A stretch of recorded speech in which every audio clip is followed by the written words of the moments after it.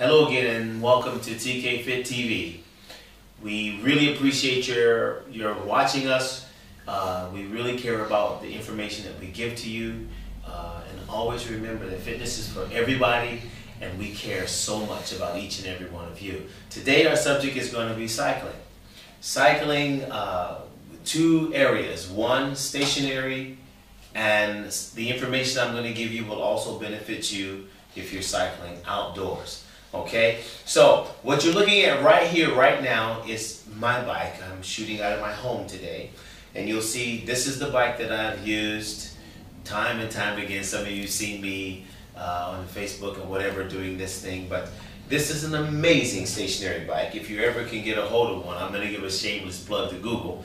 Google did a remarkable, remarkable thing. Uh, this is La Tour de France. This is what the bike is uh, the title of the bike. But what they've done is they've actually taken the Google map and they've actually, when you're riding, you're actually can program or ride anywhere in the world and the bike will literally move according to the course. And not only that, you can actually see where you're riding. I've ridden in Kauai, I've ridden home, I've ridden past my mother's house several times and she didn't even know it. Nevertheless, let's get back to what we're talking about. Um, when you're riding a bike, you have to remember this especially uh, you want to prevent injury. The injuries that accompany improperly riding a bike are your knees, uh, your lower back, and oftentimes your shoulders and your neck.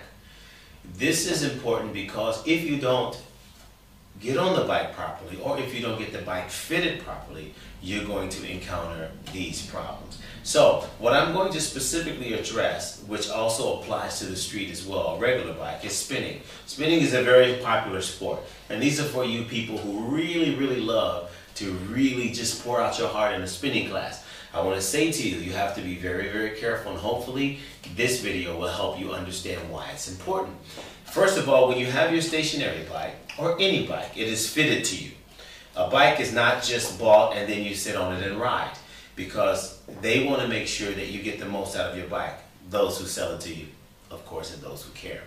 But when you get a bike and it's fitted to you, then it, it will not injure you.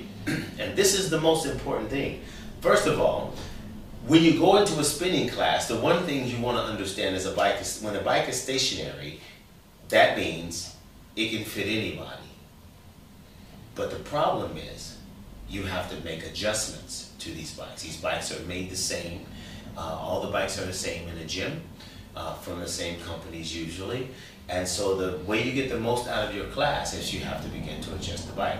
Now here's some key things you need to work on or concentrate on. First of all, the seat. You have to make sure the seat is a distance enough where you have good extension from your seat to either the clip, which you see here, or uh, a pedal. Your legs have to be able to remain straight, and I will demonstrate that to you uh, later on as I talk to you. Once your leg has remained a little bit straight, not all the way straight, when you're not pedaling, you should be able to extend your leg all the way.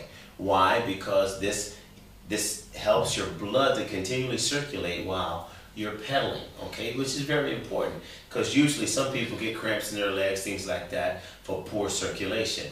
Uh, they're not getting enough circulation through the leg. Sometimes the leg get numb. Uh, other extremities can get numb too, like, you know, have you ever had your fingers get numb, have you ever had your hands get numb while you're riding? You know, these things you want to look for. So the seat width is very important. So what you want to do is you want to take the seat, stand next to the bike, like I'm doing here, and you want to measure from your hip, the top of your hip here, approximately one inch, okay? One inch below your hip, approximately one inch.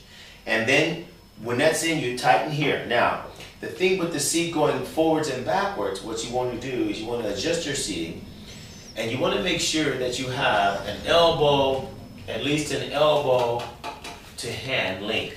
What this is, this space here determines your back and neck width, okay? Because if in fact you're way back here, you're leaning too far forward and your head is forward. Okay, so you want to be straight. You want to be able to sit on your bike straight, okay? So what I'm going to do, if you come with me, I'm going to walk around the bike really quick. And I'm going to show you what I'm talking about. I have clips on, okay? So I'm gonna get clip in the bike like so, because it's already adjusted for me. Now, also, the handlebars on the bike, they can be too low or too high. Well, you want them parallel. Some people who are in the spinning class, the, the handlebars are way up here. Some people, the handlebars are too far down. What happens is when they're too far up, your body's out of line. When they're too far down, there's a lot of pressure on the shoulder and the neck. So you want it parallel. You want everything straight. Um, because what this does is that allows you to get on the bike and remain straight as you ride. So when I'm clipped in here, what I'm going to do is I'm going to come around and sit on the bike. As you can see, this leg is straight. However, when I'm riding, it's not going to be straight. You see that I'm, I'm, I'm forward here, I'm just leaning forward enough. As you can see, my tricep is contracted. This is basically how you want to be. If I was way down here, I would be here. If I was way up there, there will be no tricep and no core movement as I paddle. So you want to be here, you clip in the other leg. See, as you can see, now when I'm riding, you see my knees are slightly bent. If you can look over to my right, my knee, my knee, my leg is coming up, my knee is here. My knee is not over like this, which this is a problem when you're spinning, you're not aware that you can damage your knees. If you're, you're not getting on a bike and you're not like this, then you're not right. Now, as you pedal, you want to pedal with the heel. You want to think in your mind, push, pull. Well, what that means is with this leg, you're going to push with your knees in, pull with the opposite leg. So as you're doing that movement, the movement of the uh, gears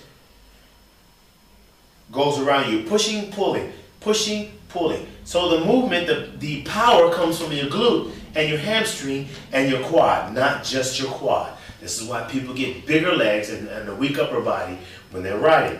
Now, what you want to do when you're riding, you want to adjust the tension to where you feel resistance. You must feel resistance in your legs. Without resistance, nothing changes. Without resistance, there's no fat burning. You're only sweating. You're sweating through aerobic exertion, and you're not changing the way your body looks. Spinning, cycling, whether you're mountain biking or you're road biking or whether you're doing an indoor class, the goal is to burn fat. Sweating is for everybody, but fat is only for those who are willing to make the sacrifice not only to engage muscle, but to maintain a sound diet in their life. Food is 70 to 80%. Never ever say you eat good. Look in the mirror. What you see is what you get. What you see is a reflection of what you're doing outside. More to come later. Thank you very much for tuning in. See you soon. God bless.